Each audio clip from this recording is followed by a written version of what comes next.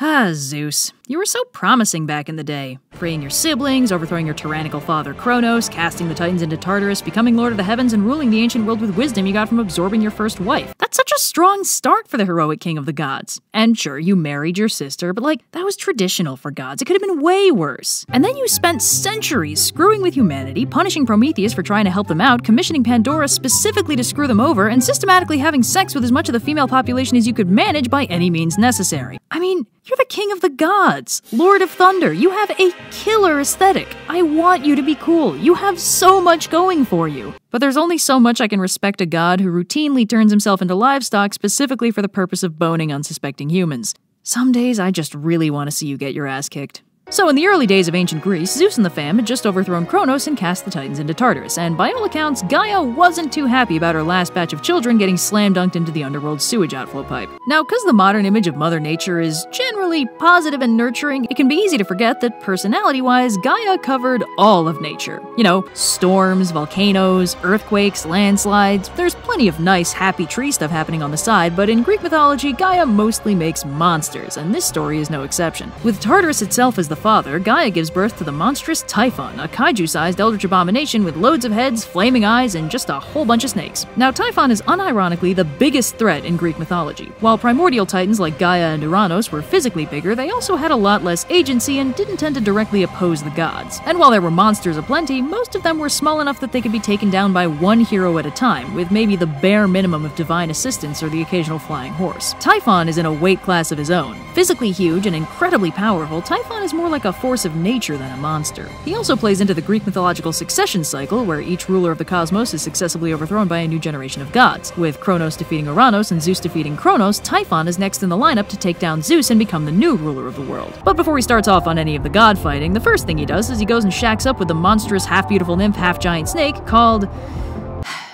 Echidna. It's not her fault, guys, it was her name first. Anyway, Typhon and Echidna have a bunch of monster babies, including the Chimera, the Hydra, the Sphinx, the Nemean Lion, and Kerberos. With that out of the way, and plenty of antagonists established for future generations of heroes to fight, Typhon marches towards Olympus to smack down some gods. Now, in a couple versions of the story, the Olympians are so spooked by this fire breathing Godzilla sized snake monster that they shapeshift into animals and run away all the way to Egypt, which is a little random until you notice that Artemis turns into a cat, Hermes turns into an ibis, Zeus turns into a ram, and yeah, basically, this is a little bit of early syncretism. It's specifically the ancient Greek explanation for why the Egyptians worshipped animal gods. As far as they were concerned, Bast was cat Artemis, Thoth was Ibis Hermes, Amun was ram Zeus, etc. Pretty neat. But Zeus waits just long enough for the Egyptian artists to get his good side before turning back and hucking some lightning bolts at Typhon, driving the monster back before getting in close with an adamantine sickle. But when Zeus goes in for the kill, Typhon surprise grapples him and turns the tables by ripping out his tendons like he's a misbehaving chicken leg. So with Zeus's strength now roughly on par with a spaghetti plate, Typhon tosses him into a cave along with all of his loose tendons, and sets the half beautiful nymph, half enormous you dragon Delphyne to guard it. Surprisingly, she's apparently got no relation to Echidna, the other half lady, half snake thing in the story. Anyway, then Typhon wanders off to presumably do giant monster things like knocking over buildings and breathing fire. But luckily, unlike every other overthrown king of the cosmos, Zeus doesn't need to languish for long, as Hermes and Pan sneak into the cave, retrieve his tendons, and restring him like the world's horniest ukulele. Now back at full power and presumably very annoyed, Zeus charges off after Typhon and a truly epic battle commences. Earthquakes, volcanoes, fire everywhere, thunderbolts and lightning, very, very frightening me, you know, the works. Eventually, Zeus's thunderous assault wears Typhon down, and when he tries to run, Zeus responds with his characteristic sportsmanship and drops a mountain on his head. This produces the famous Mount Etna, one of the world's most active stratovolcanoes, and supposedly also the home to Hephaestus's forges, which